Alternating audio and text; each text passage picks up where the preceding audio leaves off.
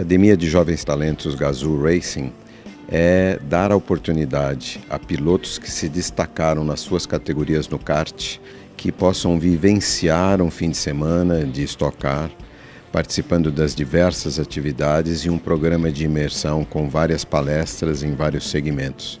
Aqueles que entenderam que realmente querem isso para suas vidas vão iniciar um outro procedimento em sala de aula com diversas matérias, vão ser avaliados pelo aprendizado disso, vão também receber avaliação física, psicológica e psicotécnica. Na última etapa, Interlagos, eles vão ganhar o direito de guiar um Stock Car Light.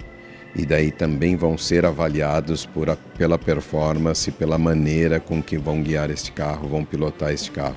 Ao final de todo o processo, aquele piloto que tiver a somatória de melhores notas vai ser o escolhido para receber a premiação para participar de um campeonato de Stock Light em 2020.